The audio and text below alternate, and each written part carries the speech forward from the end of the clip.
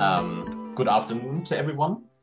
I'd like to welcome you to the second panel of our conference on working time reductions and the climate crisis, which is entitled The Place of the Working Time Reduction in a Post-Growth Society. Um, for this panel, we have invited three experts from academia to provide their expertise on the complex relationship between working time reductions and carbon emissions and the importance of shorter working times as one of the key policies driving the socio-ecological transformation towards a more sustainable and fair society. I will be sharing this session. My name is Philip Frey. I'm a scientific employee at the Institute for Technology Assessment and System Analysis in Karlsruhe, and most of my research is focused on the future of work in the age of automation, but also on the ecological limits of work in this context. I'm also here to represent the German Center for Emancipatory Technology Studies, a young technopolitical think tank, which is an institutional member of the European Network for the Fair Sharing of Working Time, which is hosting this conference. Just a quick reminder, like all other sessions, this session will be recorded. Feel free to ask any questions you might have throughout the presentations via the Q&A button, button at the bottom of your screen. If you um, experience any technical difficulties, we have two people um, helping out, which is Alexander, which is supporting the moderation for this panel, and Thorhild Dur, which is running the tech support throughout the whole conference. And they will be happy to help you with any questions you might rise, raise through the chat. Before I give the floor to our speakers, I will very briefly introduce them. Our first speaker is going to be uh, Juliet Schor. Juliet is professor of sociology at Boston College. Before joining Boston College, she taught at Harvard University for 17 years in the Department of Economics and the Committee on Degrees in Women Studies. Her research focuses on consumption, time use, the relationship between work and family life, and the relation between working hours, inequality, and carbon emissions. Over the years, she has received numerous honors and written some of the defining publications on the issue of working time reductions and ecological sustainability. In her talk, she will introduce us to the relationship between carbon emissions and hours of work, which is central to our conference. Our second speaker will be Will Stronge. Will is one of the co-founders of Autonomy and its director of research. Autonomy is an independent progressive think tank that focuses on the future of work and economic planning and has been running a research stream on shorter working times since its inception. Will is also currently writing an introduction to the topic of post-work together with Helen Hester, which is scheduled to be hopefully released next year, and uh, will present on the question how working time reductions might contribute to a healthy relationship between post-growth and post-work approaches. And last but not least um, will be Beate Zimpelmann. Beate is a professor in political science and sustainability studies at the University of Applied Sciences in Bremen. Before moving to academia, she was in charge of energy and environmental policy at the IG Metall, and later on head of the program on work and the environment of the Senate administration of Berlin. Beate also serves on the scientific advisory board of ATTAC. Her research has been focused on issues of sustainable work, both in a national and an international perspective, transdisciplinary research, and of course, working time reduction. She will be discussing the issue to what extent shorter working times are a precondition for societal change and the good life we all seek. We will hear all three inputs at once because they are closely connected, and then we will have an, around an hour for the Q&A sessions. So please, Juliet, if you could start, I hand you the floor. Great. Thank you. Uh, well, it's a great pleasure to be here. This is such an important topic. So um, I want to begin by making a strong claim, which is that uh, for wealthy countries, it's impossible to sufficiently decarbonize without getting onto a path of work time reduction.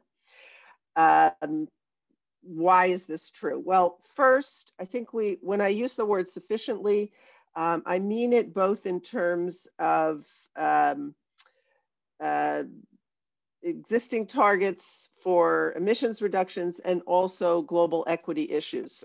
So I think we, we need to be thinking about roughly 10% reductions in wealthy countries in greenhouse gas emissions annually, which is an enormous, enormous uh, task to get that level of, of reduction. Um, it's a really inordinate amount of reducing, but is uh, fair in terms of historic emissions as well as differentiated ca uh, capacities for emissions, uh, largely due to uh, income inequalities between global north and south. So the first point really is to say that energy system transformation, which is an absolutely obviously necessary part of uh, decarbonization, energy system transformation, that is the shift to clean renewable energy, is not enough if uh, to achieve these emission reductions if energy demand is growing. And uh, that's been a big part of the problem, which is that we've had a technological approach uh, to energy system transformation, but not an approach to control energy demand. And that's where we really need to focus, and that's where working hours comes in. So the key issue is a, a series of relationships, the relationship between work hours and GDP, and then the relationship between GDP and emissions. And so I want to go through those uh, uh, separately. Let me start with uh, GDP uh, emissions link. So um, the first point to make is that the relationship between GDP or output and emissions remains strong, especially in some countries, and especially when we include what we call the offshoring of emissions or the offshoring of carbon through trade. So the fact that uh, Europe and uh, North America have uh, reduced their emissions in part by um, importing increasingly dirty, uh, high carbon embodied uh, products and exporting lower carbon embodied products. So the national accounts are really not the way to look at this. You need to do uh, what we call consumption accounting, which includes the exports and imports of the countries. So that's the first point. The second point is that this crucial uh, relationship of, of uh, GDP to emissions is uh, not moving in the direction that the sort of mainstream discourse or the people who are thinking this is primarily a technological or an energy system problem uh, have been arguing for, and that is uh, so-called decoupling. So the delinking of GDP and emissions. All of the sort of mainstream strategies of green growth, for example, or a, a, very technologically centered approach to emissions reductions, which is what we have seen in most countries until recently, where that that finally begins to open up that that sort of stranglehold on policy and the political discourse, um, the uh, that decoupling is not happening to the uh, any significant extent. So uh, a recent review of all the decoupling studies just found there's no significant evidence of robust decoupling, meaning that emissions and GDP are still linked so that if we are in a growing, uh, you know, an environment of GDP growth, it means we're also in, in, an environment of emissions growth, everything else equal. And so what we have with GDP expansion is basically a factor pulling us in the other direction and eroding or eating away or undermining all the gains that we're making by the energy transformations that are certainly happening and happening you know, at, at, a relatively good rate in, in a number of countries. So moving off fossil fuels onto non-fossil sources of energy. Uh, a recent estimate from 2017 is that we need uh, 2.5 times more GDP per ton of uh, material resources um, than uh, uh, for for each for each uh, uh, unit of GDP, we still need 2.6 uh, times material resources, which gives us no pathway to even a two degree warming, uh, much less 1.5 via a pure decoupling path. There's another really important point here from the research, which is increasingly renewables are looking like they contribute to increased energy demand rather than just substituting for fossil fuels. There's, there's often an un, unspoken assumption in the debate that you'll get a one-to-one substitution uh, when you add renewables. But in fact, what's happening is you get expansion of, of energy demand. And so renewables are not undermining emissions to the extent that many people had hoped. So this is a bitter pill, I know, um, but the, we really have to accept that we've got to control the demand for energy, period. We cannot grow without emitting yet. So we've really got to slow down that growth and reduce energy demand. Okay, so how do we do that and what does that mean about uh, hours of work? So let's assume that we are able to get a political consensus or for whatever reason, we get to a point of roughly stable GDP. So we're not expanding GDP in real terms. And I'm talking, I'm talking only about real terms, not uh, prices. So there will be price changes and so forth. But what is let let's say we're in a we're in a that slower no growth uh, GDP situation. What does that mean about hours of work? So, and why am I arguing that it implies we need to reduce hours of work? So, the first thing we need to think about is the productivity work time GDP relationship. Economies are typically generating ongoing productivity increases. If GDP is not expanding, then productivity growth can either create unemployment or reduce hours of work. I mean, in fact, both of those are unemployment is a reduced uh, hours of work outcome, but it's just not a good way to do it. Um, the inevitable, so what, what is happening then is for a given level of output, we can produce it with fewer hours of work.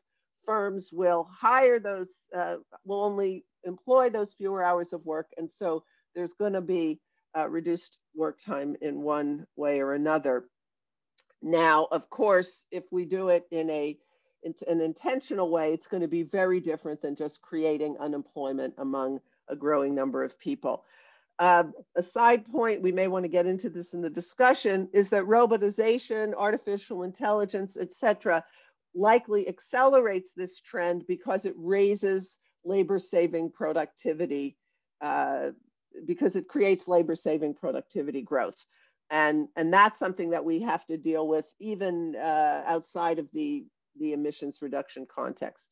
So what we want to think about is a kind of forward-looking program in which we take productivity increases and translate them into shorter hours of work. So we finance a, a, shorter hour of work program through productivity growth.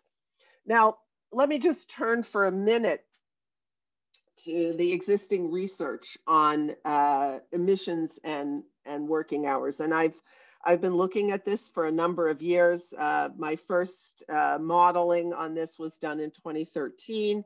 And what we find, um, and there's now a pretty growing literature on this, uh, mostly from sociologists, but also economists.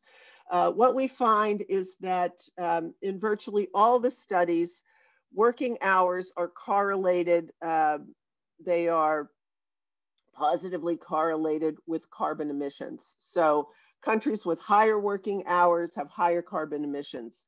Over time, as working hours rise, carbon emission rises, uh, carbon emissions rise, and vice versa. So lower hours are associated with lower emissions. And this is true across countries. Uh, I've done analyses for the United States looking across US states where we're also finding that. There are some studies at the household level which also suggest that households who work longer hours have higher carbon emissions, holding things constant. And there are sort of two big uh, dimensions of this. One is the one I started talking about, which is the GDP relationship. And I, have called this the scale effect. And it has to do with the size of the economy or the scale of the economy. So more higher working hours, all things equal, gives you a larger size economy. That additional production creates more emissions. It's a really simple story in that sense. Um, the composition effect occurs at the household level. And what what that argues basically is that households who are more time stressed, who have longer hours of work, all other things equal, have higher emissions because typically uh, the use of carbon, high carbon uh, activities uh, tends to be time saving. So transportation is the most important of these. The faster you want to get somewhere, the more carbon you have to use time stressed households tend to want to do things more quickly. Um, and it's also true that certain kinds of sustainable behaviors and practices are more time consuming than uh, less sustainable versions of them. So, more and more research showing this uh, relationship between hours of work and emissions. Um, just in, uh, I just got a, a, couple of minutes left, so I want to make uh, a couple, two more points. The first one is another way of thinking about this is if you want to control emissions, if you want to get those robust uh, emissions reductions that I started with at 10% a year, say, um, you're going to have to keep purchasing power out of the economy. Because if you give people money, they will spend it. Um, there are strong social pressures for upscaling consumption. Uh, consumption is something that people value. And, uh, you know, much of the sort of sustainable consumption community in some countries, my own, especially the United States, I think, has approached people with a sort of moralistic uh, approach saying, you know, save the planet, consume less. And um, I think this is not a successful strategy. Um, appealing to people's uh, environmental sense or their moral sense and just asking them not to spend money that they have. It just doesn't accord with a lot of evidence we have about uh, the way the way our economies work.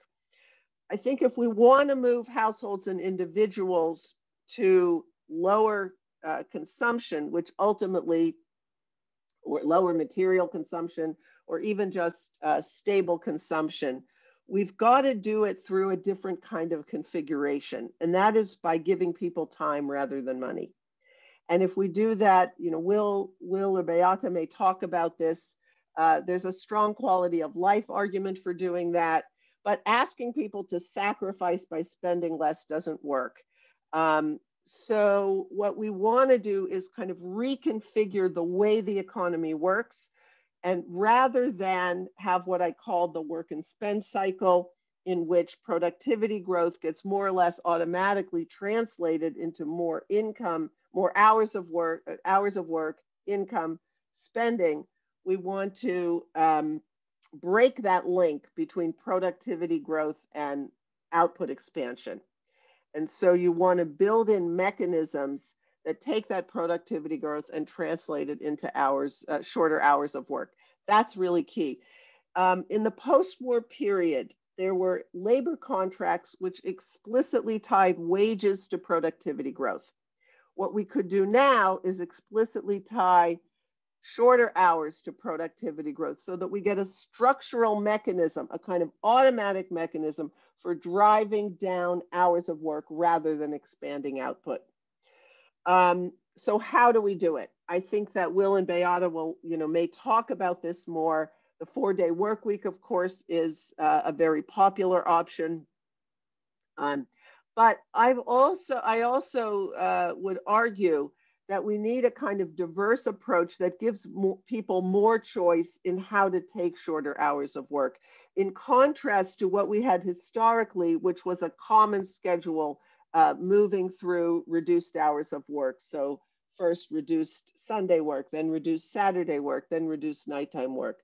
Um, I also think there are, there are important legal protections, uh, new uh, time rights that uh, states can grant to people, as for example, the Netherlands has done with a right to work less within the job that you have. One of the important um, uh, findings of economic research in the United States is that if people want to work less, typically they have to change jobs and they'll typically have to go to less desirable jobs. So giving people a right to work less within the job that they have, which is something that's enshrined in Dutch law now, is really important. And finally, uh, high income professionals are one group that does desire trade offs between money and time.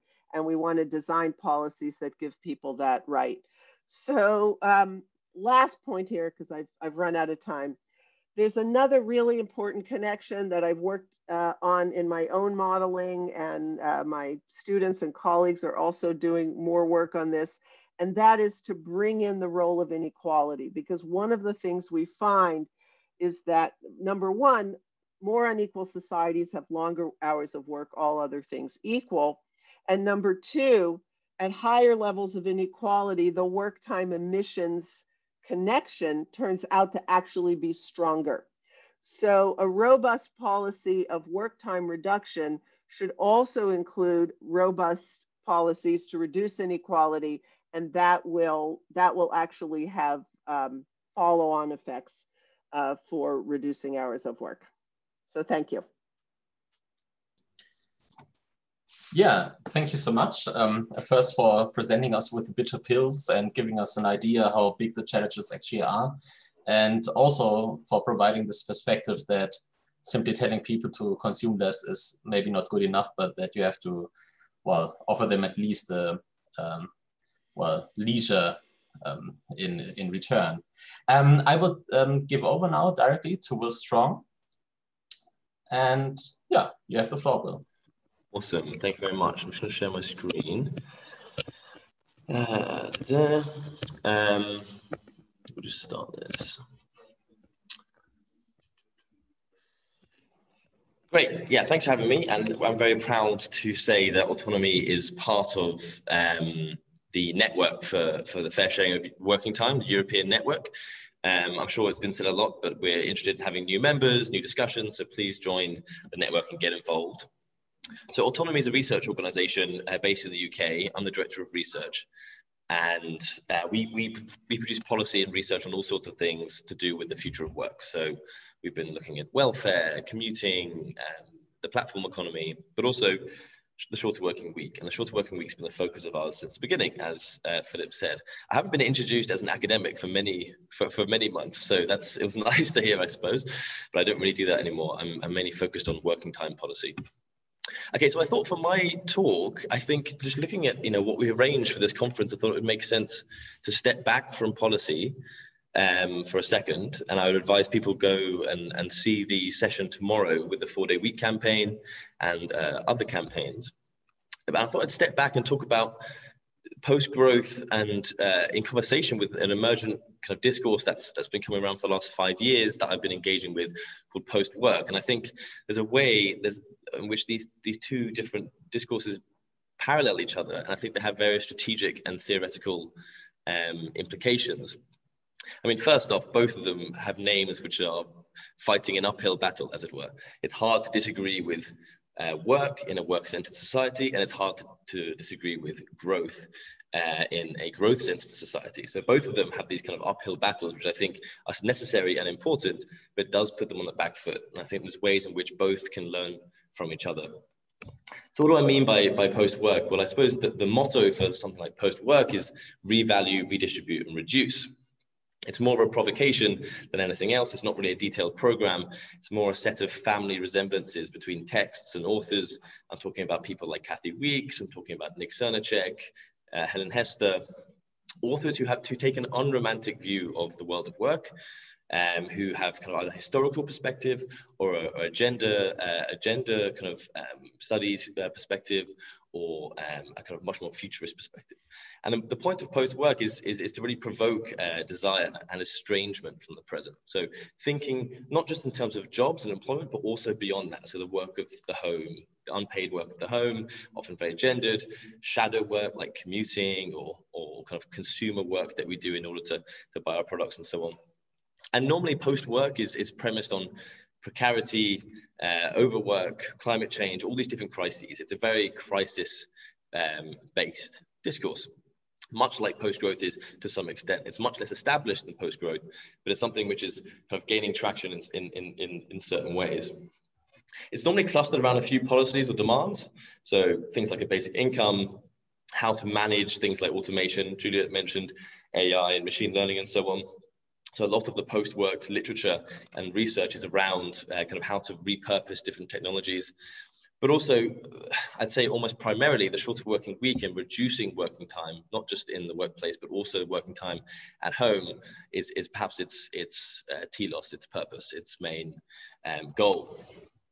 And I think, you know, although not in name, no one's really heard of post-work, I think in, in terms of practicalities, um, uh, post-work is, is getting traction in political and public spheres. So I would, I would, count autonomy being part of that discussion. So, you know, whether it's creating this policies or whether campaigns like the four-day week campaign uh, in the UK, but also abroad in Spain and Ireland uh, and, and so on. Um, these these are gaining real traction and they, they kind of are kind of capturing some of the public imagination. So, so that's kind of an interesting point to I, I want to return to later around how post growth can kind of um, work with kind of post-work kind of um, elements. Now, I think just some obvious points of contact between post-growth and post-work uh, is, of course, that reducing working time is key to both. Um, I think, you know, just considering the fact, for example, Juliet's work's been incredibly, incredibly influential on, on, on my own work and others as well. Um, I think an interesting shared nexus is between is around productivity. It's a dangerous frame from the from a post-work perspective because it's a stick to beat workers with to be more productive. That's the aim of the economy to be more productive. And who gets who gets the uh, the sharp end of that? It's those who are working in the workplace.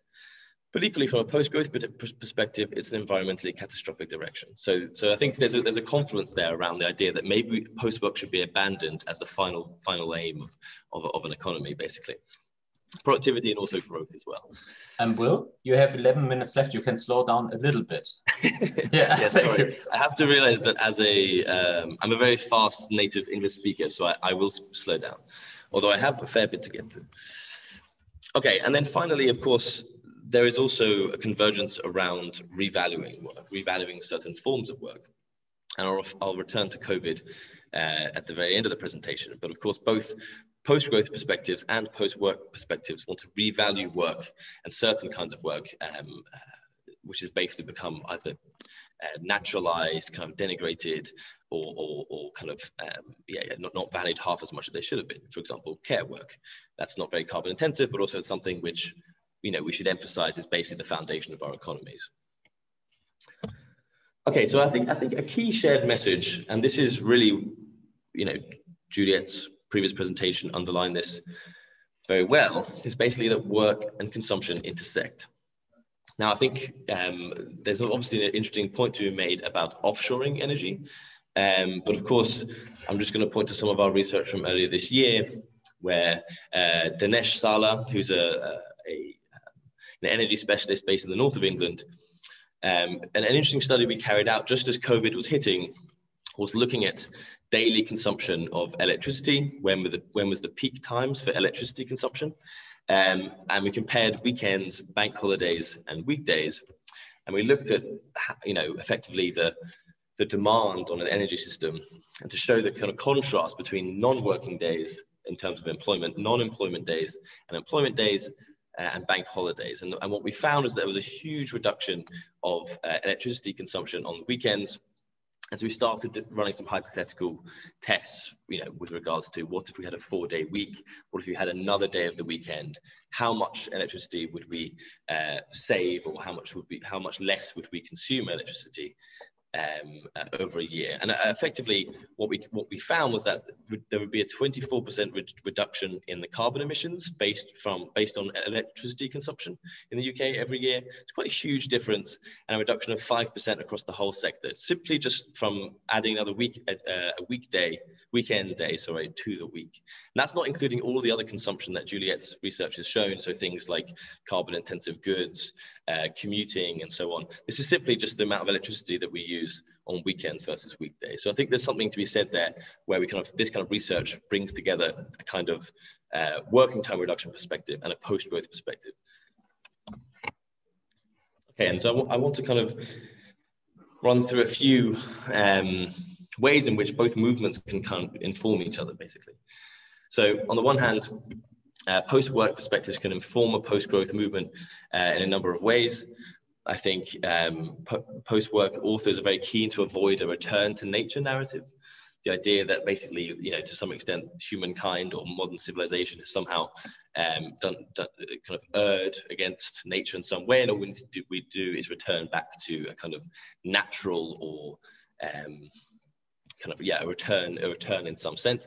I think that's quite dangerous and i think the post-work perspective driven by a, a, a feminist concern for uh, uh, gender roles so things such as you know naturalizing women's work as, as reproductive work for example. Um, i think there's a way in which post-work can steer some of those slightly more naturalist perspectives that sometimes infiltrate post-growth perspectives. Um, i think this is to, to, pick up on what juliet was talking about earlier around um, uh, desirability and not just telling people to not consume more. I think post-work can offer a vision of hope to a project, essentially a project of scaling back. If we do need to scale back our consumption and our production, we also need to give people hope to, to kind of buy into that.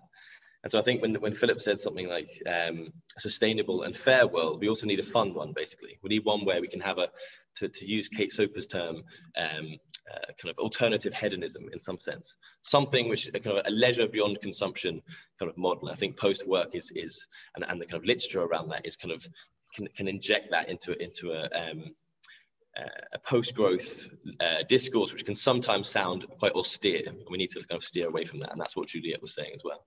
And I think importantly, and, and I think this can be said also, the same can be said of Green New Deal perspectives. Um, I think it's important to avoid a mass work narrative. So sometimes, um, you know, for example, in, in, in Ann Pettifor's new book on the Green New Deal, there's, there's the idea of like of an arm, there's a, there's a phrase, an army of labor. It's used uh, again and again. In fact, you know, I think I think Ed Miliband, an MP in the UK, talked about there needs to be a kind of an army of labour, um, of labourers. And so I think, although you know mass employment is something which right now, in particular, a lot of people are demanding, it's important to remember that work perhaps isn't the final goal of our, of our society, it's a means to an end. So I think post-work can add that kind of caution. And what can post-growth add to, to, to, post, to post-work? So I think post-growth for me is potentially a, a, a useful wider frame, like post-scarcity. Post, uh, post-growth is, is perhaps a wider frame for direction of, of, of national economies that post-work can plug into. So often, you know, post-work is really focused on working time, you know, different forms of work and so on, but it hasn't really got a wider um, kind of framework or trajectory. I think post-growth can provide that. I think it's useful for post-growth perspectives to define green jobs and green work. That's something which that's that's that's a kind of initiative that needs to happen. I think post-growth can do that. Um, I think post growth can kind of put some important cautions to some of the technological optimism or aspirations that come out of post work discourse. I think it's important to, to, to keep an environmental frame um, and a post growth frame on top of, of some of that kind of um, sometimes techno futurism. I think, as, as Juliet um, and Philip also picked up on, thinking through leisure that's not carbon intensive. So post work is, is really about free time. And then what does that free time look like and how do we make it not um, carbon consumptive? And finally, a final note on COVID. COVID, as, as, as, far as, as I'm aware, as far as the research seems to show, it's not going away anytime soon. We have perhaps one, at least one or two years on, on, a, on a similar, unless we find a vaccine, um, it's going to be around for a long time, perhaps forever, but not quite as intensive as this.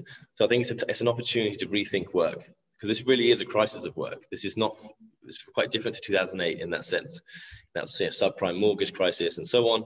This is really a crisis of work, of what kind of work we value and what kind of work uh, we don't value, basically. So, so and, and, and in terms of working time, there's an interesting, there are a few interesting um, dynamics, right? There's some people who working from home, they tend to be working longer, work and life bleed into each other. And those who, who are in industries that are really tanking and they can't get enough work this is an opportune moment to think about redistribution of hours, right? And I think if you look back in history, and this is some of the research I've been doing recently around the history of working time reduction in the UK, the most significant moments of this reduction have been uh, after um, the World, First and Second World War, led by trade unions, led by the workers' movement, but really after absolute crises of um, or economic crises, effectively. Now, so I think it's important to note, and I think it's a slight, maybe I'm speaking slightly differently, um, in slightly different terms as Juliet here, that although some, you know, some, particularly when the working time reduction initiative gets um, attacked, I think basically uh, some uh, people say we, we can't have working time reduction without a very productive economy, or we need to have a more prosperous economy to have working time reduction. But I think it's important to note that after World War One and World War Two, it's not as if our economies were in any good, decent shape. And we should, we should note that actually the greatest reductions in working time have happened in times of um, economic hardship. So in, in those particular scenarios, so I think we should, we should avoid the idea of the kind of being cornered into saying that actually you can only have working time reduction when we have um, economic um, prosperity because I think I'm not sure how you know when that's going to be basically. And finally, in the short term, you know, working time demands have to be made in the context of COVID. I think that's really important, and we're having some success in doing that. But I think also, you know, if we establish working time reduction coming out of COVID or coming out of this intense period of COVID, then um, uh, I think it, should, it should be there for, for, it should be established for the longer term transition uh, that we require, basically. Cool. I'll leave it there. Sorry if I spoke too fast. yeah, it, uh, it, was quite fine um, after in the second half. Yeah, and um, thank you so much for. I, I, I found this encounter of post-work thinking and um, post-growth thinking um, very um, inspiring. And I just wanted to remind everyone that you're invited to use the Q&A button to um, hand in questions through the talks already, because we have three talks in a row, so it might be good to just note them down already now instead of waiting until the very end. Okay, um, finally, I give the floor to Beate.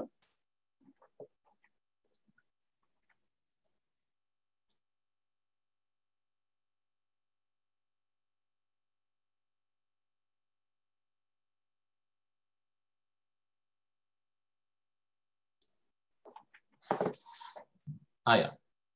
Um, did anyone? Uh, so thank you okay. very much. I hope yes. you can understand me now.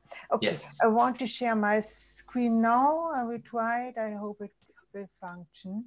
Um, so, can you see the presentation? Please say yes. Yes. Yes, you can. Okay. Not yet in uh, full screen, but um, yes. As okay. soon as you start. So, okay. So I will start now. Um, working time, um, and we will speak about the place of working time reduction in post-COVID society. And I will put the question, is it a precondition for change and an expression of good life? And to answer that, I have divided my presentation into three parts. First part, working time and gender. Second part, working time and sustainability. And third part, working time, transformation and post-growth. So we will begin with the comparison of working hours of men and women in Germany. And uh, I will show you a survey of the Hans Böckler Stiftung and you see the working time of men is mostly 40 hours and more. The blue um, scale is um, the the uh, part-time working and it is very slow. So we have 90% of working time in a full-time job when you look at the men. And when you look at the women, you have a completely other picture. You see most of the time is part-time, more than 50% are part-time and the violet area which is over 40 hours is very small and compared to the men it was much more.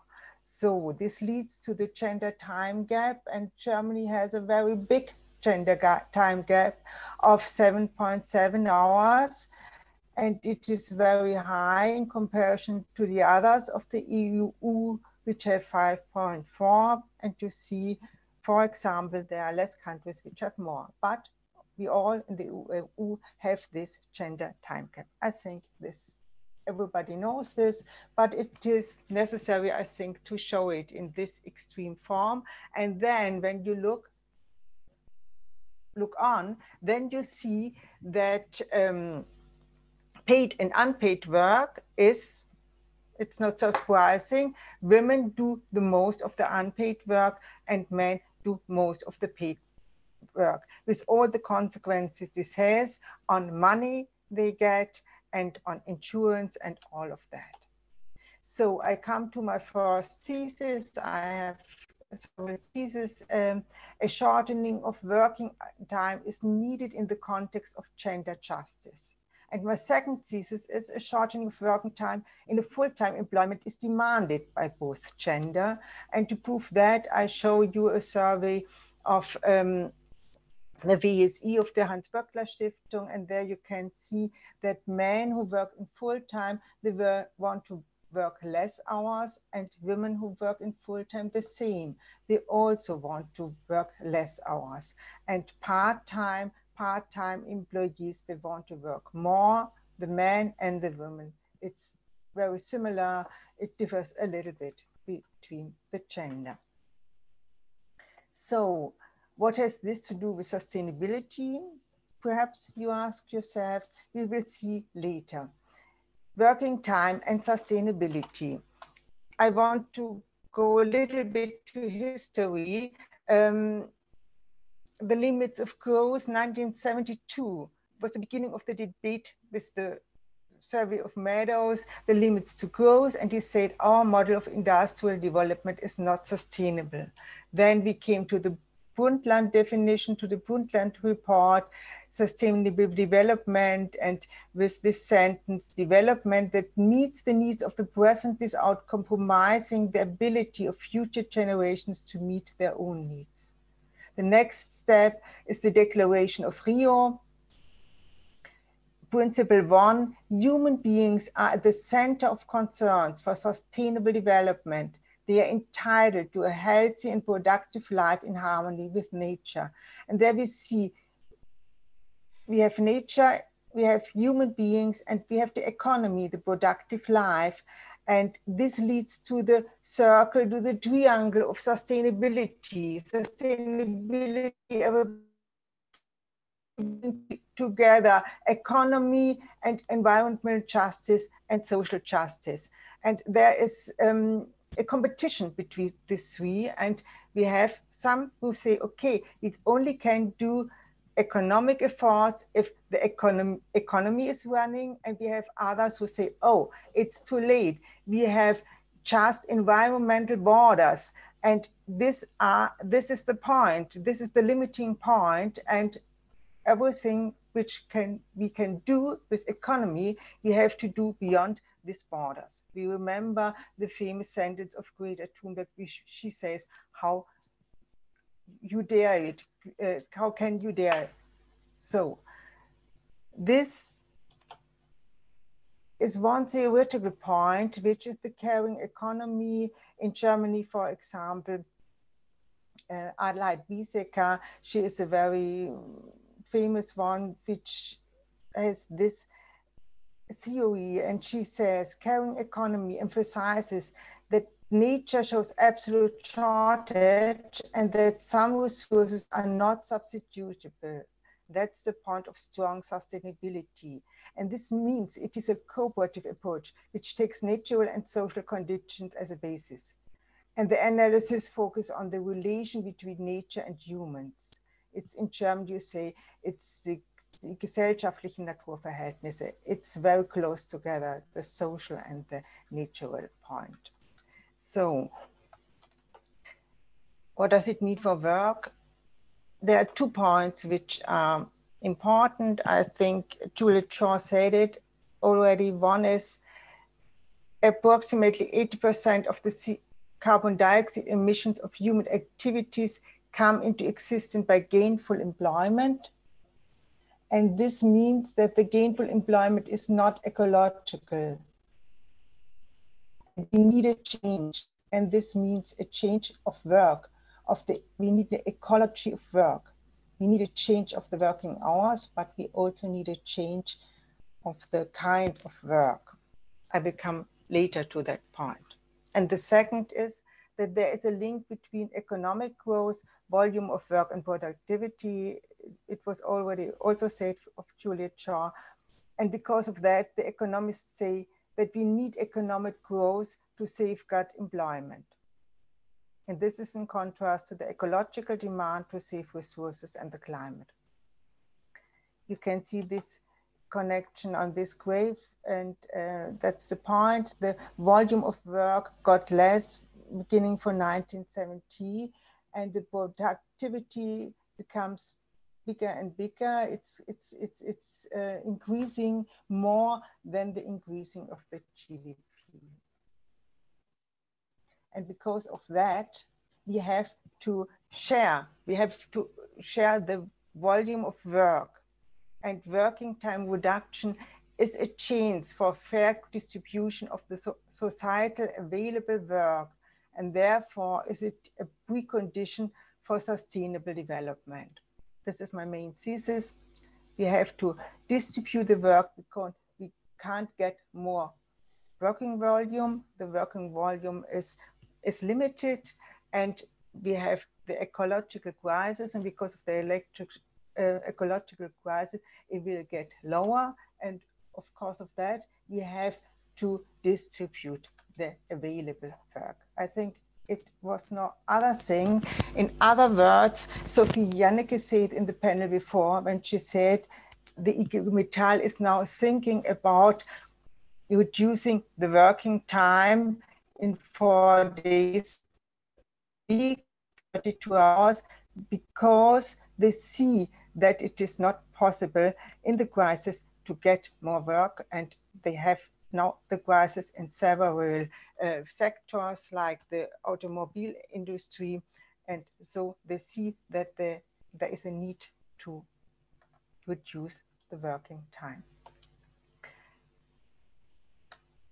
Post-growth society, working time, transformation and post-growth society um, several authors mean different things when they talk about post-growth society. I will talk about post-growth society and in this sense to say post-growth society focuses on the arrangement of a good life for current generations and future generations. Growth can be necessary in some cases, but in general, that we grow and we can't get more growth anymore. I agree with that. And new ideas and sufficient lifestyles are developing also beyond the market in a post-growth society. And the post-growth society means a change of work and it means a change of production. And this means inclusion of the reproduction not only the production, also the reproduction is necessary to see when we look at work. Some authors of the post-growth society, they speak about 20 hours per week. When we speak about working hours, for example, Niko Paech, um, I will see that. But the focus of my presentation is the idea of the whole work. There are different kinds of work. Not even speak about work, we speak about the paid work, about the gainful employment with the normal employment, part-time employment, atypical work, everything included. But there are also other kinds of work. There's the care work, there's the societal work, and there's the own work the own work means the work I'm doing for myself, the work I'm doing for my own education, for example, the work I'm doing for culture, I want to do a course for singing, or uh, if I want to mix parts, all this is work on my own, for my own proceeding, for my own education. And the societal work is the political work, the work I do in, in groups I do to participate in organizations and, and, and. And the care work is the work I do in the family, for example, uh, do to look for the children, I do to look for the elder ones. And when we look at that and we see that all these four sectors will have the same time, then Frigga Haug, for example, she says, we don't, we have only the time for four hours of work the day and the other time we have to invest in the other forms of work. And this is a complete other definition of work. All kinds of work are important and necessary, the paid and the unpaid work. This shifts the perspective. That's the uh, main point of the, this. And it sees that the societal work, the own work, and the care work are necessary and they need time. And now I come to the gender perspective. And these kinds of work are mostly done by women. And central is also in this, this point of the care economy. Working times must be adjusted to human life processes. And all kinds of work have to be done by every gender. This is the point of working time and post-growth society and post-work. And this can only mean a radical reduction of paid work. A shortening of working time means a consequent shift of perspective. Work is considered as a whole work and thus changes the term of work and welfare in general. And we also have another definition of welfare. The welfare of time is important in this model of whole work. I come to my conclusion. The central and initiating role of reduction of working time for a transformation to a post-growth society is underestimated by political actors. It's underestimated because it's the precondition. And the working time reduction changes the perspective on work and the distribution of work between men and women. And this is also a part of a post-growth society. And last but not least, it could disprove the argument that economic growth is needed to safeguard employment because we must stop with the economic growth. And the consequent reduction of working time is a civil and ecological project. It is necessary, but it is not enough for the transformation into a post-growth society. Thank you very much for your attention and I'm glad to answer your questions.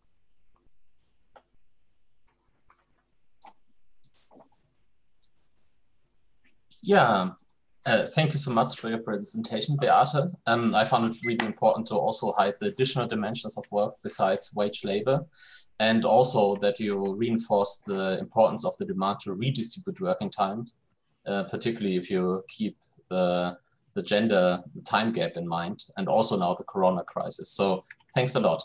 Um, I would also like to thank all three um, presenters um, for keeping the time so well. We really have a full hour now to discuss. So uh, everyone, please um, add uh, your questions to the Q&A segment. Um, ah yeah, Juliet needs to be unblocked. Uh, Thorhildur, could you take care of that? Ah, yeah. Okay, good. Um, I would like to start out with one uh, question for each of you, and uh, which also the, this first round also presents you with the opportunity to react to one another. And I would like to um, start with Juliet. Would you like to all get your question and then um, have some time to think about it while uh, one of you is talking? Okay, then I will present all three questions um, at once. So um, Juliet, we, I was wondering, you said um, we have to drain out purchasing power out of the economy, and you clearly showed that, um, well, simply this level of consumption is not sustainable in the long run. Um, but on the other hand, uh, obviously, the trade unions are always um, campaigning for shorter working times with a full compensation and pay, so no loss in pay. And I wanted to ask whether you could discuss this point a little bit more in detail, maybe also concerning uh, the fact that um, emissions are very unevenly distributed also within developed countries. So maybe, um, uh, and how social and ecological justice could maybe be re reconciled in that respect. Um, the other thing I wanted to ask uh, to Will was the um, question, which I oftentimes also get, is if you argue, okay, shorter working times lead to less reductions, then you are um, confronted with sentiments like, well, if people have more free time, they will always fly to London to go shopping or something like that. And you mentioned that obviously it's um, of key, key importance that um, we also keep the carbon intensity of the additional leisure time we get um, low. So I was wondering, do you think that's mostly a thing of a cultural change that people freely pick other activities in their free time off? Or would you say there are certain key policies that would need to be introduced that frame the uh, leisure time of individuals? So I was wondering whether you could comment on this whole issue, which is called temporal rebound effect. Um, and lastly, to Beate, um, I know that you're also involved with research on sustainability in a global um, context and perspective. And um, I was wondering when Juliet mentioned that the decoupling is simply not happening as quickly as we need, so that the connection between GDP growth and um, carbon emissions remains too strong. Um, what that means for global development and whether you would like to comment in that respect, what also, uh, whether working time reduction is a sensible policy also in the global south or whether you would say the discussion we are having here is mostly centered on the global north. Okay, Juliet, would you like to start? Yes, okay, thank you. Uh, that's a great question. So I think that um, I sort of couched my conversation in a sort of almost more of a modeling frame. Uh, so now we need to um, enhance it with some more realism and so forth. So you're right that uh, we really need to focus on inequality of wealth and emissions uh, for two reasons. I mean, one is that you have this very unequal distribution of emissions where with people at the top uh, contributing very disproportionately to emissions. This is particularly true on a global scale, but it's also true within nations. Um, and then you have another finding, which we have from our, uh, my colleagues and I have, that where you have a lot of income and wealth concentration at the very top, so top 1%, 5%, or 10% concentration, you actually have higher emissions, other things held equal. That was that point I made at the very end. So I think that in part, uh, you can have uh, reductions in inequality that may help offset some of the demand from trade unions for income increase increases in income. But ultimately, if you have already, if you're starting from a fairly equal society, like many of the Northern European uh, countries already are, um, that the that you know doing too much downward redistribution can actually lead to more demand uh, and, and higher emissions because you're you're moving money from people with low propensity to spend to higher propensity to spend. So you got to think about that. Um, I think that the uh, the way I would think about this is it's not about reducing uh, incomes. It's about leveling out incomes on average and then taking productivity growth in the form of shorter hours of, of work. The Netherlands did this for 15 years from roughly the recession of 1980 82, which was a very severe recession, very high unemployment in Europe, until the sort of late 90s. So real wages almost didn't rise at all. Productivity increased a lot, and their working hours went down a lot. They went to a four day work week in the finance sector they uh, the the government hired all new employees on four day schedules. So that that's kind of the way to do it, especially where you get the the uh, new workers entering the labor force. If they go onto shorter schedules, they never they're never experiencing those five day work weeks. Obviously, this doesn't work for the very lowest paid, and that's where you do want to bring the bottom up so if you combine these policies with um, either welfare policies, minimum wage, or you know other things which basically compress the income distribution, um, they can be successful uh, to deal with some of those issues that we're talking about, uh, which is the the uh, purchasing power. But but ultimately, you know, drain more purchasing power out of the top, yes. But the point is that we're going to have to we're going to have to really make uh, deals with unions which allow them to take work shorter work time uh, rather than than uh, increases at least a portion of the productivity increase that way if we're if we're going to meet those emissions targets. I, I don't see another way around it. unless mm-hmm. we get a you know phenomenal uh, a hail mary technology yeah you know and that that may be i mean you the, the more you do on the technological side the more you do on the shifting the uh, mix of services the more you do the kinds of things Beate is talking about where you're shifting to more care work and low carbon activities then the less purchasing power you have to kind of pull out of the system i mean that's you always have those trade-offs yeah, yeah, thank you. I mean, on the other hand, uh, the good thing is that um, in comparison to warp reactor for free energy without emissions or something like that, um, working time reductions already exist as a policy option, basically. But uh, it's true, yeah, um, yeah. Um, Will, would you like to go next? Sure. Yeah. I mean, I think in terms of um, non, well, non-carbon intensive leisure, I would and responding to the question, would we not just be increasing our kind of carbon use or, or, whatever uh, in our leisure time. I mean, I would I would also just point back to Juliet's work on, you know, I think there's 27 OECD countries they looked at the correlation between working time and and carbon emissions, and there's a positive correlation there. So, although although yes, it's not. I'm not saying that leisure can't be carbon consumptive. I, I think you know the, the, the point is that work the more we work like the less leisure time we have the more time stressed we are the more we use carbon intensive goods and I think but that's not to say that we need to we don't need to change leisure and I think ultimately what we've been thinking about a lot of autonomy is a kind of leisure, a new leisure infrastructure. Because again, to, not to refer back to Juliet's work, the work spend cycle, which I think is a really useful phrase, um, it's actually reflected in space as well. So you know our, our town centres, particularly in the UK, it's it's I'm sure elsewhere in the US, of course, the places to go when you have more free time are often places to spend, right? And and that we're the, the kind of infrastructure and architecture of our leisure life is is a place where it, it's places for consumption. And so I think we need to think about decommodified leisure spaces where you know people can on bank holidays national holidays and on their extended free time off go to places and in, enjoy life and have that whatever i call you know the alternative hedonism without having to kind of like you know basically like pay for for, for, for high carbon goods.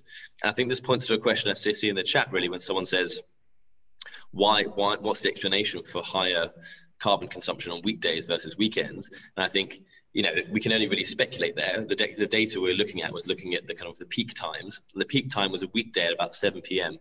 So, so basically, once you're home from work and you've got all you know your all your electrical goods going basically and why is that not the same on the weekend well maybe just speculating maybe it's because on the weekends you're out more you're going around you're not using your electrical goods as much because you're actually more active um, who knows but but ultimately the peak was 7 p.m. on, on weekdays, and that wasn't the case on weekends or on bank holidays. So I think there's something telling about a 7 p.m. weekday uh, time. I think that tells us it's basically the end of the working day. So employment is, is, is, is not good for those electrical consumptions.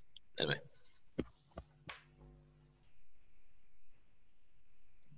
Um, of course, we will uh, also hear Beate with her question, but I was just um, wondering whether the two of you might also want to comment on the link between energy usage and um, what, what might actually explain that, that on weekdays at 7 p.m. Um, the energy consumption is highest.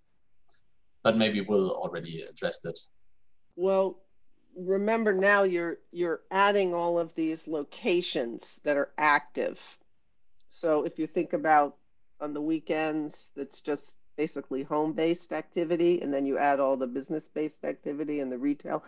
But there is one thing. Uh, so I think we can't just assume that if we shift, there will it, it'll be an absolutely proportionate decline because one of the things that we saw we've seen in the United States when you shift to the four-day work week is you have work people who pick up additional work on that on that day and so some of that will generate uh, activity and, and it will generate electricity and so forth. So you, you need to figure out what that, how much of it, it's a, you know, a sort of a rebound kind of effect, how much of it you'll get that the, that the shift uh, will cause some new activity. Mm. Agreed. Mm -hmm. Okay, um, Beate, um, we didn't reach your question yet, but um, yeah. Yes, um, Philip, you asked me um, if working time reduction is only a concept for the global north. Um, I'm very often asked this question. I think we have to look firstly at post-growth economy. And post-growth economy is a concept which is we, we have to look for economist concepts which are locally orientated, which are regional orientated. And we have to establish an economy which suits, which fits to the local situation.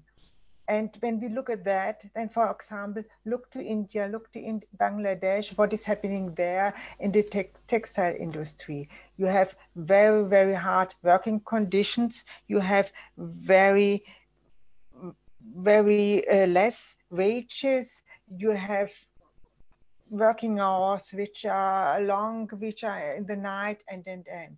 So I think we have there other problems. We have problems to do with the working condition, with the kind of work, with the condition of work.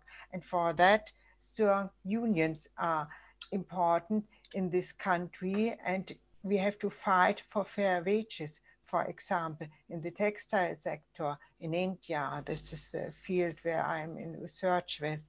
And um, the working time reduction is so not a concept which we can say this fits for every country, this fits for every region, because we have to look very exactly what is happening and what are the conditions there. And so working time would, uh, reduction is a concept, yes, primarily for the global north, for the European Union, and we look in other countries which uh, in the uh, global south, then we have to look a little bit more in detail and we have to look at the work and at the condition of work and of the kind of work. And I think when we talk about working time reduction and post-war society and sustainable development, I said it, it's not the only thing to say we reduce the working time and then we have get less emissions. We have to look at the kind of production we have and we have to change the kind of production we have. And this is also so important then to change to reduce the working times. We have to think this both things together. Yeah, thank you. Um, I would start to take questions now from the audience, if that's fine with you, or um, if you, uh, you, you can still react to one another's input, but uh, since you didn't choose to do so, I, I, I would suggest I start with um, questions from the audience. Um, the first one I'd like to highlight is um, uh, from uh, Katie Wiese, and she's asking about the experience that um, they oftentimes, when talking about um, uh, working time reductions, they get comments from policymakers on how to finance working time reductions in the long term. And I think actually that refers to the financing also of the welfare state, because much of the expenses of the welfare state today are linked to gainful employment and the taxation of that. And um, the question would be if you maybe also say, okay, we have to drain out um, purchasing power from the economy. How do you make sure that not in the end you basically leave um, um, no money left for um, public services and these kind of things? I think the question could be taken up by any of you and all. I, I one thing I, I did want to pick up on Juliet's presentation, but I thought I'd already picked up on a question from the audience. I didn't want to keep picking up on stuff. was was linked to this question basically. So, you know, I've been doing some work recently on maximum wages and the redistributive power of maximum wages, and I, I feel more and more that we basically need to talk about redistribution um, as as a part as a as a way of um, discussing working time reduction. And I say that in contrast to the idea, perhaps to what Juliet was saying around tying it to productivity gains just so in some ways the question i had is in lieu in in lieu of productivity gains in in in light of economies which are basically stalling how do we how do we make this case? And I think to some extent, it's pointing to the to, in particularly in the global north, you know, very unequal pies basically, and and really pushing that inequality angle. And so I think my yeah, my question is, how do you feel about that as redistribution rather than kind of like growing the pie? Um, and I think for me, the maximum wage, you know, we, have done, we've done, and we're going to include more of this in our calculations around what could a maximum wage, a redistributive maximum wage or pay ratio, what could it finance in terms of time as well as money, basically. Um, and so I think there's a, it's a really good question. Um, and I think as, I mean, Juliet already did mention the kind of squeeze that might be necessary, which I think is a good way of putting it, minimum and a maximum. So I just wondered what her thoughts were, because I kind of concur with, with Katie in a way that some of those proposals are good, good ideas. Yeah, can I, I, there are a lot of the questions in the chat actually relate to the question of productivity. And this is a place where Will and I, you know, put out different points of view to a certain extent. I think it's really important. Um, it's very important to distinguish between two things. One is work intensification, and the other is productivity growth. Now, in the conventional economics uh, approaches and in uh, the statistics, those two are not uh, differentiated. So if people work harder, um, it will it will show up as productivity growth, but it's not true productivity growth. It's just working harder. It's because we measure productivity in terms of time rather than intensity of work. This is a really fundamental point. Uh, it's very key to all of the you know Marxian theories of labor process, where uh, you know with wage-based work or time work that's paid by time, not by piece the intensity of work varies. And so, especially in the UK, I think there's this very anti, there's this kind of sentiment of it. And one of my friends, I think, has been, you know, at the forefront on this, Tim Jackson, of productivity growth is bad. And um, I think that's really, really wrong-headed. So you do want to distinguish uh, work intensification is bad, but true productivity increase is actually really, really important. And I think it's ab- I, I just I don't see how we're going to get to this post growth or post work society without it. So, I mean, we could, but I just politically doesn't seem feasible. So the the um, uh, so that's the first thing because it allows us to produce more with a, a given level of input, and I'm not sure why that is a bad thing. I mean, yes, there are work reorganizations that are bad and so forth, but the that's not sort of the productivity itself is not, I think, is not a problem. And, you know, a lot of this AI can be really, really helpful. We also have to have robust critiques of AI and of automation and so forth, but not on grounds of employment, not on grounds that they substitute for employment. I think that's a that's a bad direction to go someone in the chat asked or in the q&a asked about service sector and the idea that we don't have productivity growth in the service sector. And i think that's also really not correct. We don't know how to measure productivity growth in the service sector but i mean certainly as a service sector worker i can tell you there are many tools that i have gotten uh, that have dramatically increased my productivity there are also things that I've learned over my career that have dramatically increased my productivity. I am a much better teacher today than I used to be. I'm a much better advisor today than I used to be.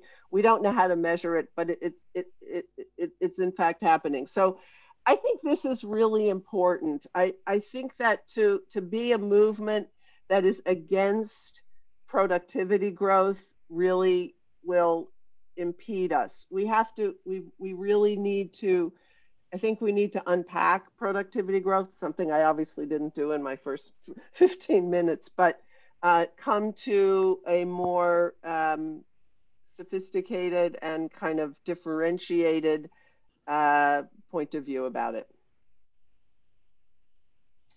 Um, one, um, I, would like to interject just very briefly um, to comment. I mean, the, the German trade unions have been doing a lot of research also on intensification of service work and, for example, how many nurses you have per patient and so on.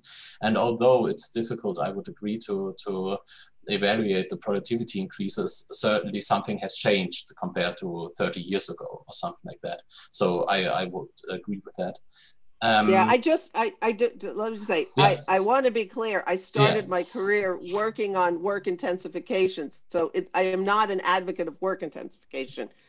Uh, but that's where, you know, the whole point was to differentiate true productivity growth from work intensification. Yeah, yeah, thank you.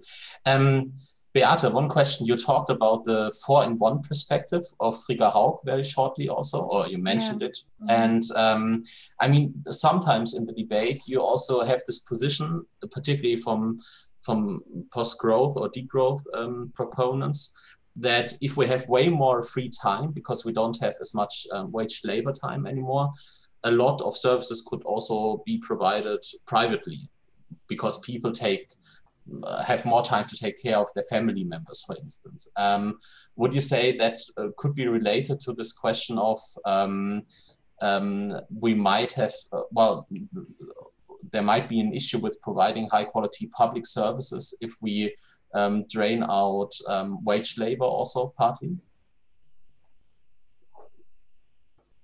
Yes, okay. Firstly, I have one uh, demand on, on all three of you. If you can speak a little bit slower, it would be very mm -hmm. fine for me because I'm no native speaker in English. And so it's very difficult for yeah. me to follow all the arguments in this quick speed.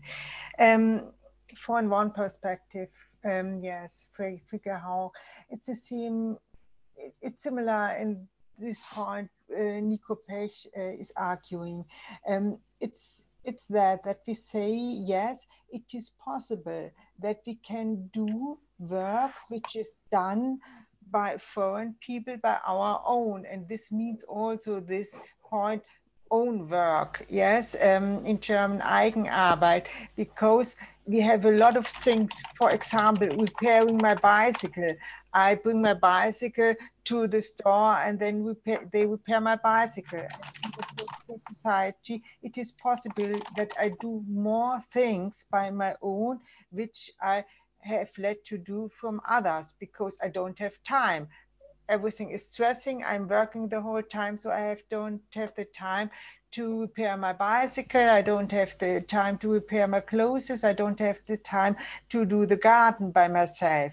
And um, for these um, activities, I agree they can be done by their own.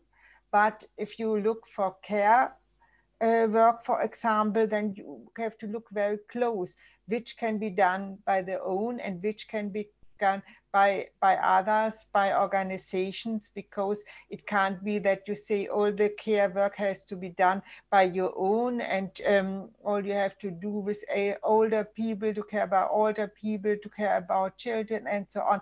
Everything has to do by your own. Then you are in the old uh, argument that you see the women they stay at home they care for the children and um, the men go outside for work. That can't be the solution. And because of that we say i say we because a lot of other people argument in the same way. For example adelheid Biesecker we say it is necessary and it's important that the men will do that care work and that um, a societal work too, that it is done by both gender.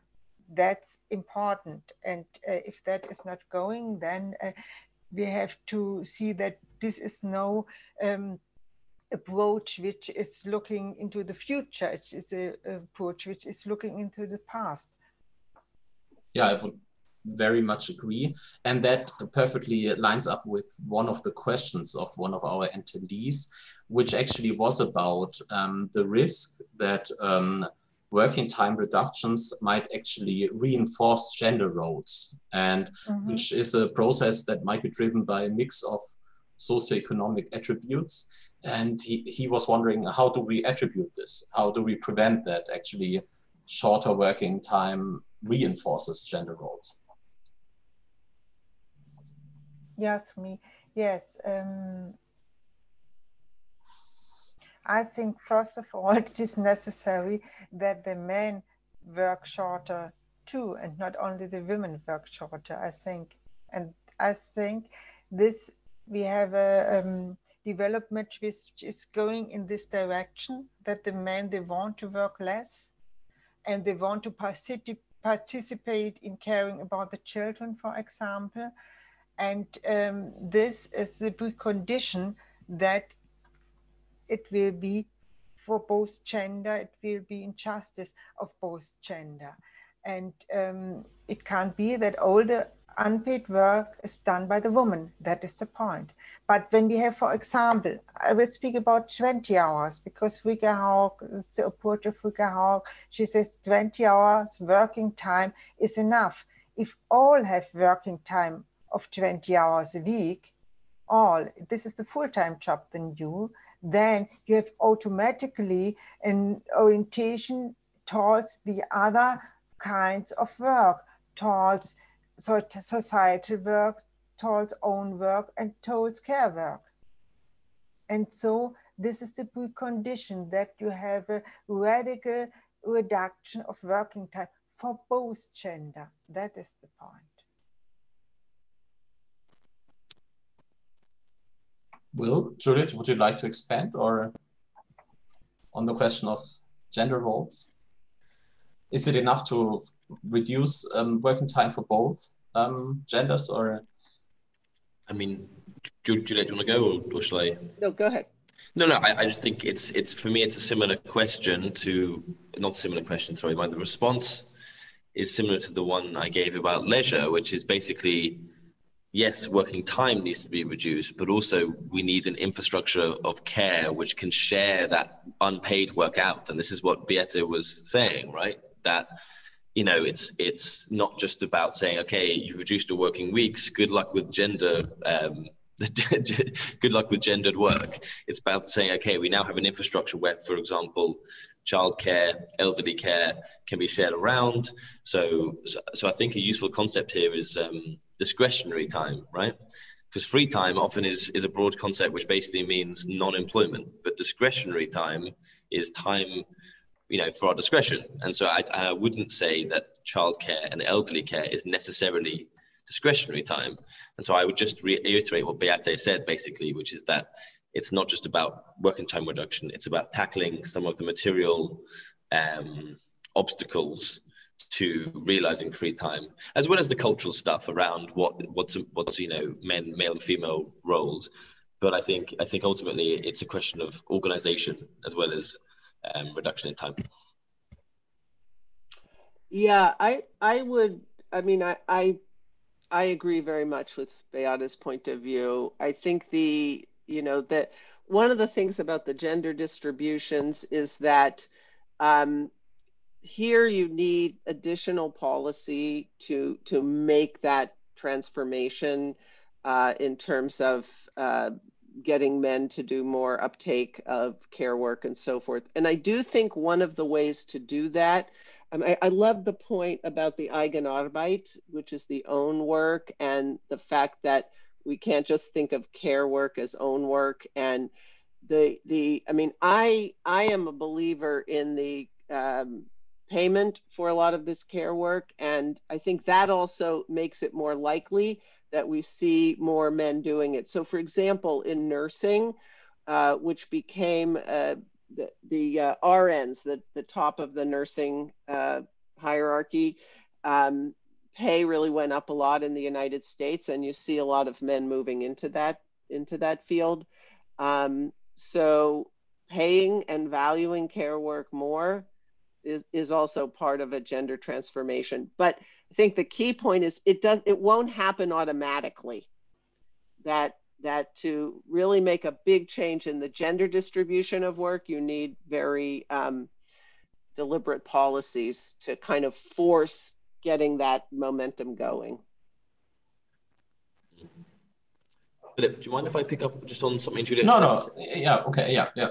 Just it's just that I mean, the, the more you're speaking, Juliet, the more I realize that like this is this is I think this is what I my down the line common sense says, which is that we shouldn't intensify work, but we should, you know, use new technologies to kind of boost productivity and then share that around so we can have more time for ourselves and so on. I'm just more and more, I'm just thinking we're kind of chasing a solution to a productivity puzzle. Particularly in, I mean, the UK, we have a real productivity puzzle, and it's partly for all sorts of reasons. You know, unproductive firms in the middle section of, of the economy, or it's low-paid work, so we don't have we don't invest in new technologies, um, and so on. But I'm actually, for I guess for a few reasons, wondering whether we're actually, never mind the COVID crisis, we're actually chasing a productivity solution which we won't necessarily find, and then we'll be tied to the idea that we can't get working time reductions um, because we can't grow that pie with new with new productivity. And I'm just slightly wary of that. I mean, one example, the, the Communication Workers Union in in the UK, who are you know, we collaborate, autonomy collaborates with a lot. They're they're campaigning for shorter working hours, and they've won one hour. And they they they basically are campaigning for a few hours over a period of years, and that's because of uh, mechanization in, in the workplace, so sorting of letters and stuff.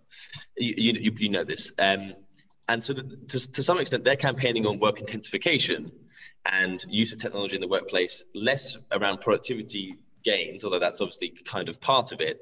I just wonder if the angle on technology is less about should should we solve productivity as an issue, everyone should do better, and rather everyone should be having reduced working time anyway, because we live in an incredibly unequal society, and actually the distribution of that wealth or the redistribution should come in the form of time.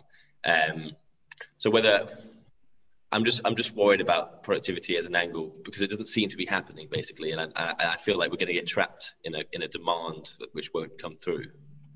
Sorry, maybe I'm just reiterating the same point. Yeah, no, well, I do think I mean in the UK, I mean that you you have a problem that other places don't have, which is that low productivity trap.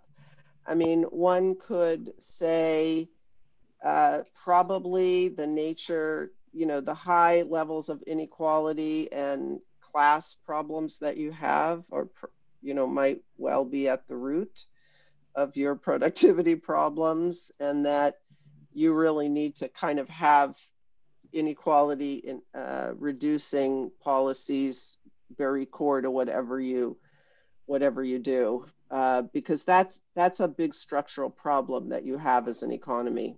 Um, but I also think that that sort of tendency to think, okay, we have low productivity, we're just going to be against productivity, and we're all going to decline more gracefully and more equally, which is, you know, that's a big theme in British culture. Uh, I wouldn't go. That's not I what I'm saying. You know, that's not what I'm saying. I wouldn't go in that direction. you know, I'm not saying that. I'm, I'm not saying no, let's decline gracefully. No, I'm not saying you are, but that's there. That's for sure there in the British discourse, right? Mm, no, you're right. No, you're right, totally. And I don't want to fall into the trap of being like, we can't have nice things because we're declining. Um, I'm just saying we can have nice things because we there may because basically there, there are nice things, but only a few people have them. That's what I'm saying. And if yeah. I may, um, if I may interject, um, just a quick um, um, note. Um, there has been excellent research by the ILO in the past um, showing that actually um, shorter working hours also induce productivity growth. So I think it would be kind of sad to say, okay, we're not going for shorter working times because we're waiting for productivity to, to increase at some point, but rather you could also think about how can um, working time reductions be designed to actually facilitate productivity growth. And then, then I think it's you can combine these two debates rather neatly. Um, I would suggest. Um, if I may, um, I'd like to ask another question, which relates, I think, also to the um, gender time gap that Beate mentioned. Um, and uh, the question is the following.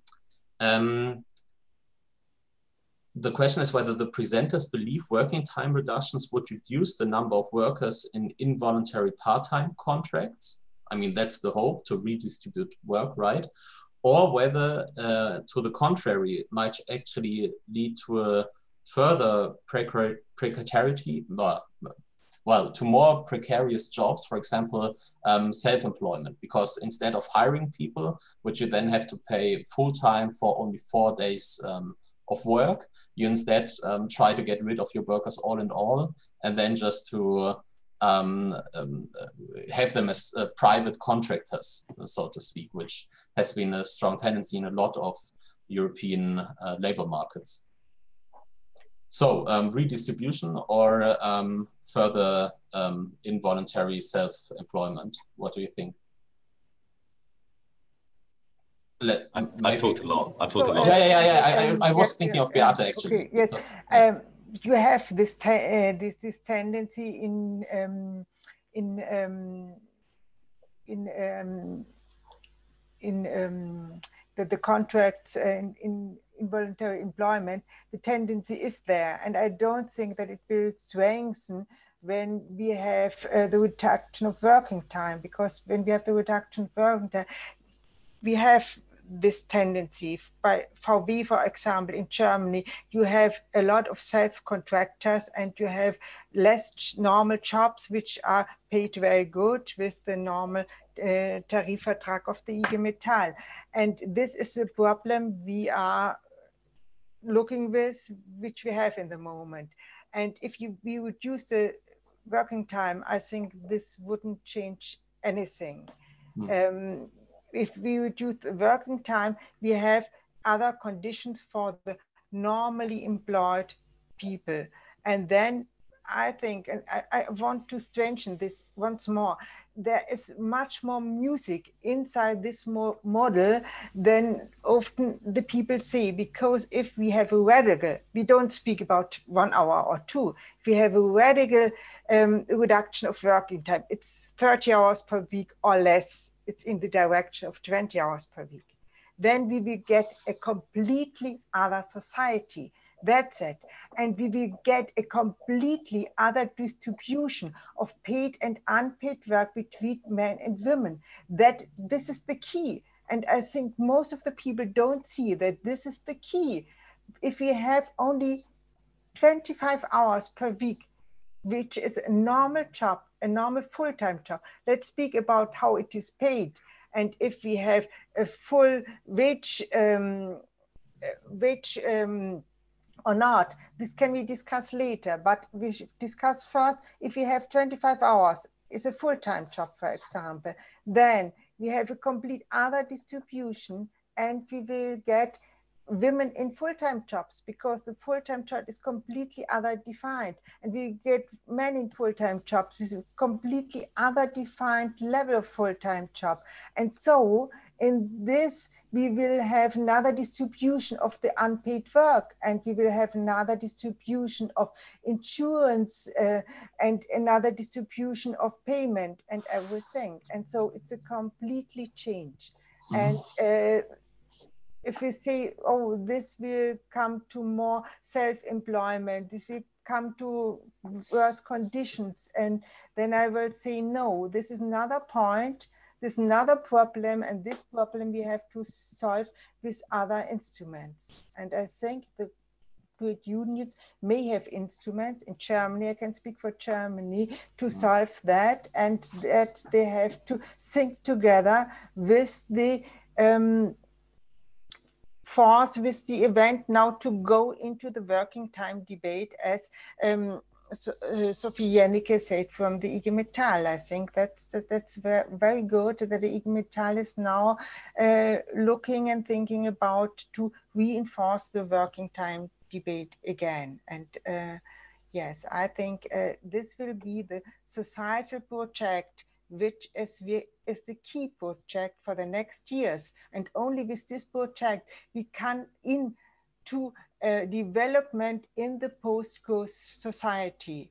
This will be the first step and this will be the condition. And this will make new coalitions, new coalitions between trade unions and um, NGOs like Fridays for Future. This is the way to get this no, new coalitions, only this, because the, the, the, trade unions, they won't find for ecology uh, with um, ecological arguments because they have to look for the work and how to organize the work. And working time is one central point of it.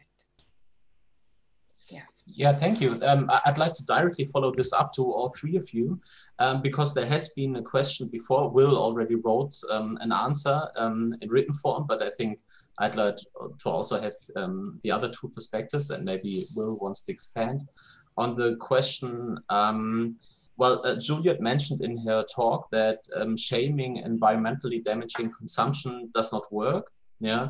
And will mentioned that post work offers a positive vision of hope for people. Yeah. Something that is actually desirable. And the question was that um, whether you see any potentials that ngos that are today um, campaigning for um, a reduction in consumption um, instead switch to the messaging of well we have to fight for working time reductions. And that might be a compensation for reduction in consumption also? Or is uh, going uh, or do you think working time reductions will stay a topic of the trade unions primarily?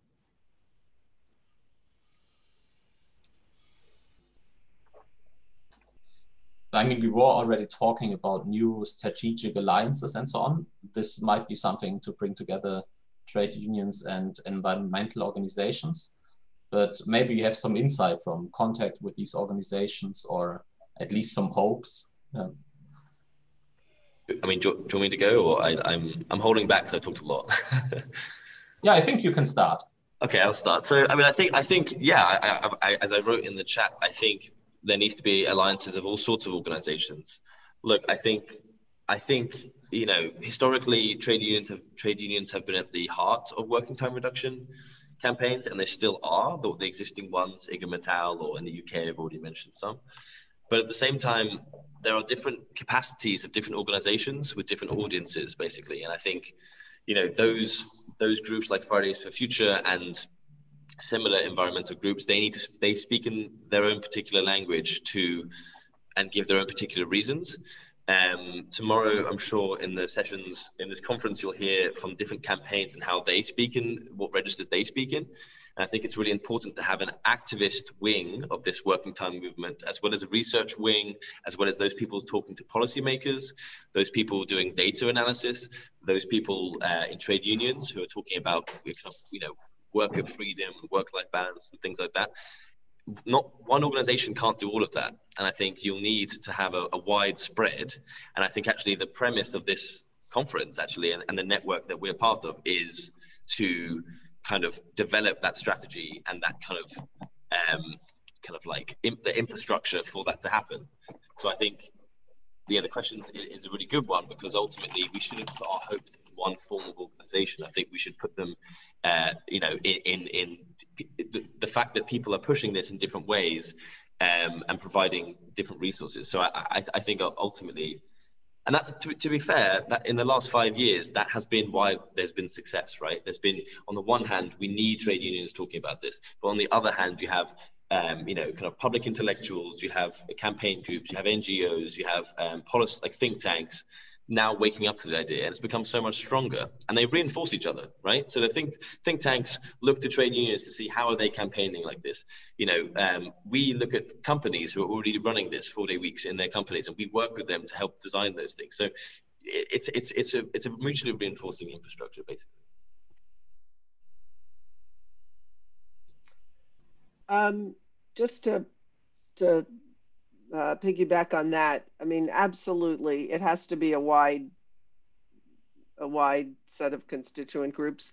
But I think one point, and it relates to a lot of what people are asking in the Q and A, is, I mean, just to put it in its simplest terms, is working time reduction a sufficient strategy, a necessary strategy, or both?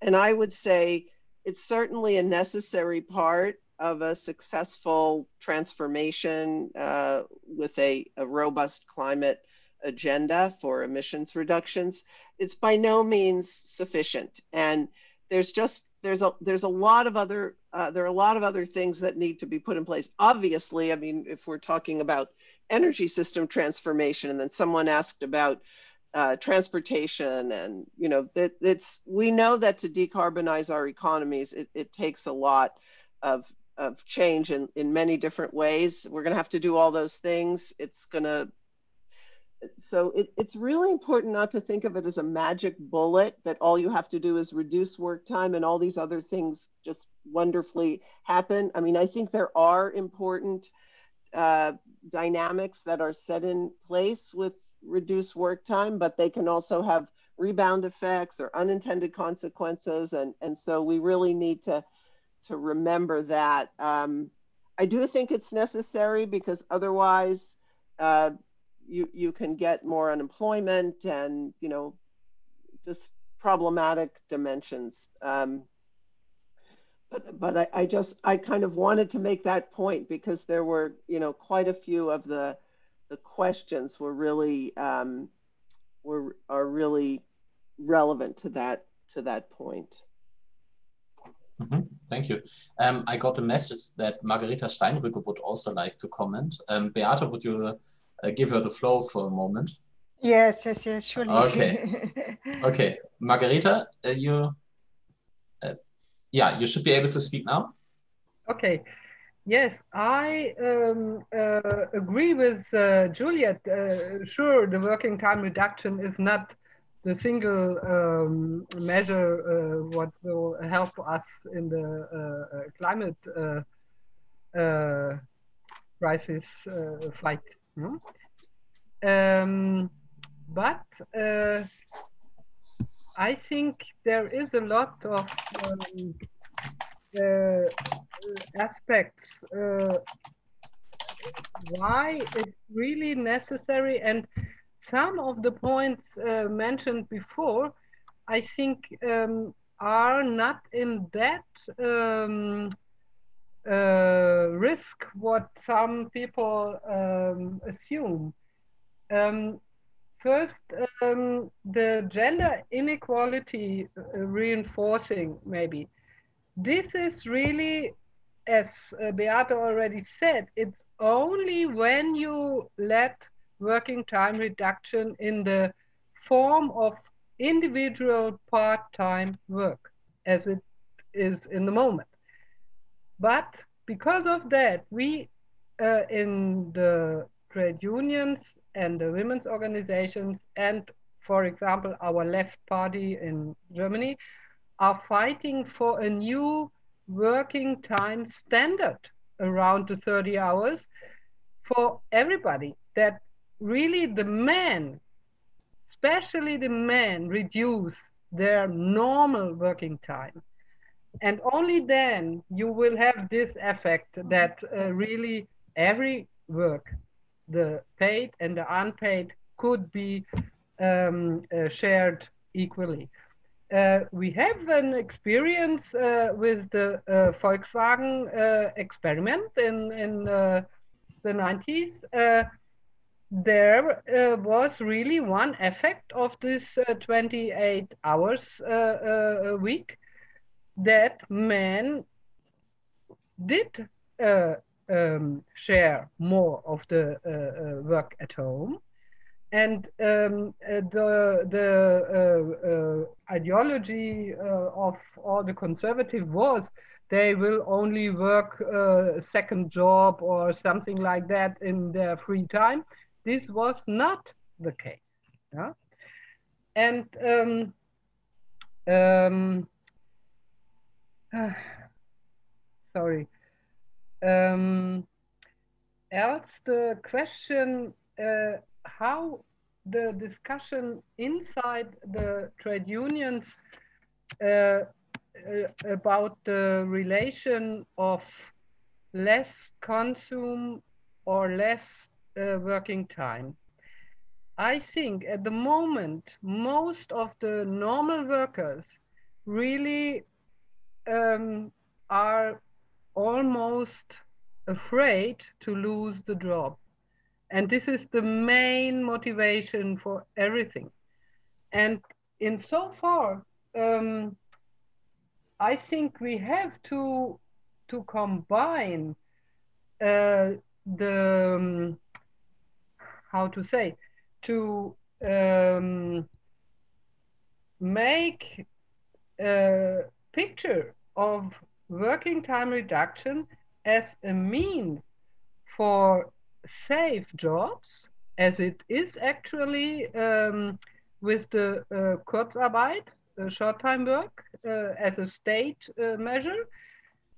With this um, perspective to have a new wealth, a new uh, wealth of nations in form of more free time.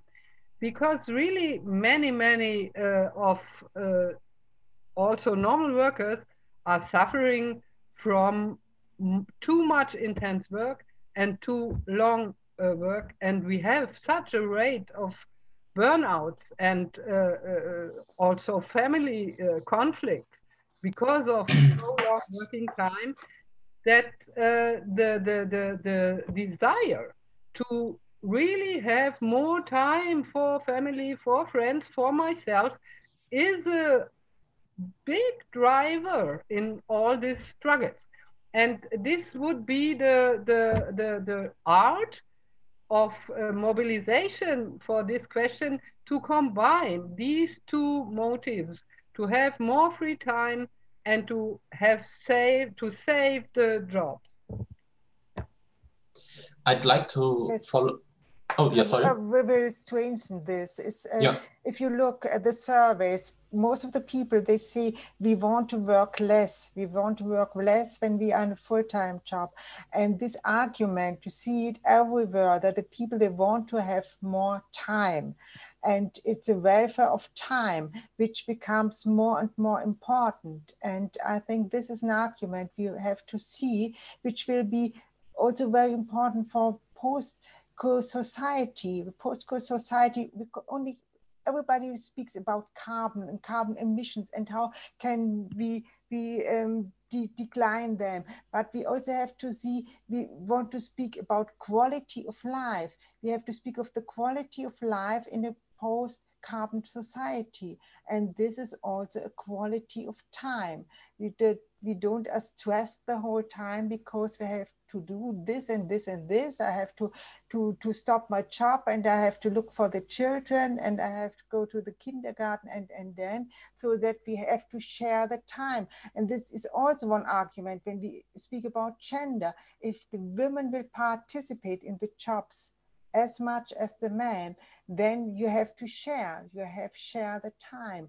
And this means it is not possible that 40 hours work a man and 30 hours works a woman, and they both have two children.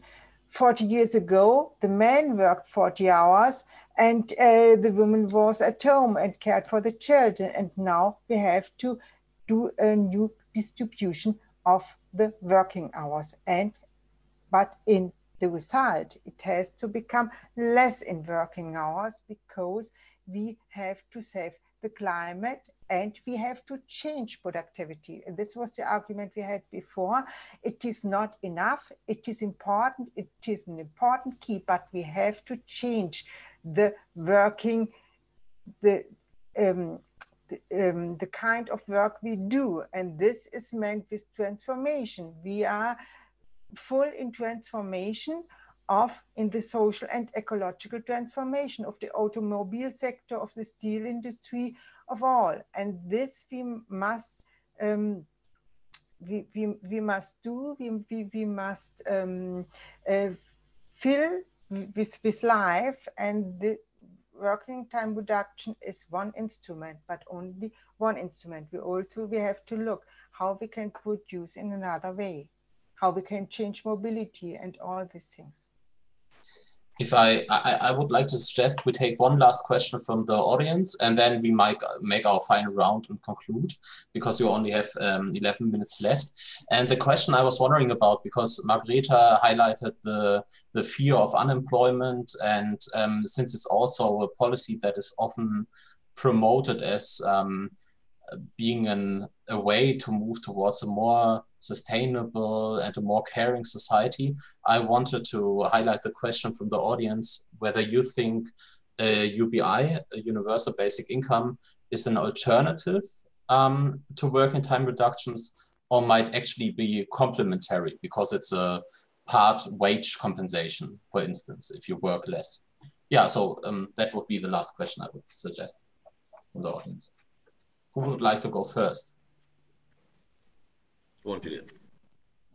Me? Yeah, okay. Oh, speaking of, I, I mean, I, I, I've talked the most, but for me, it's complementary. I mean, I think one of the really great things about UBI, other than all of the the benefits that it gives to people and the you know human uh, human uh, welfare improvements associated with it, are that it could actually lead fewer people to work and reduce people's working hours and so forth. So I, I think it's a big benefit in that sense is something that can help a society move to lower levels of work effort. Um, so yeah.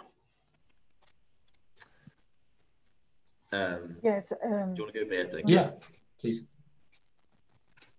Yes, I completely agree to this. I think it is complementary. I'm, um, I think basic income is necessary. It is necessary also because that the people don't have fear to become unemployed, and somebody who says, "I want to work to work in a paid job. I want to work in society issues in own work." This is also okay, I think, and for that the basic income is the condition to have the possibility to do that. So I think yes, both is important for the post-war society, the both uh, the basic income and the reduction of the working time. Thank you. And Will, I assume you as a post-work proponent, you're probably not adamantly against the UBI, but if you would also like to comment briefly. Yeah, I, I, mean, I'm just going to reiterate something Margareta said about if you look at the history of welfare, often, although welfare is something we really value, particularly the post war welfare state, it's often been used as a stick to beat workers with. So if you look at the workhouse in the 19th century and you look at the job centre in the UK and the unemployment centres in the US and so on, too often they are dis- disciplinary institutions with conditional um, uh, requirements so that you can only get support if you're looking for a job and so on.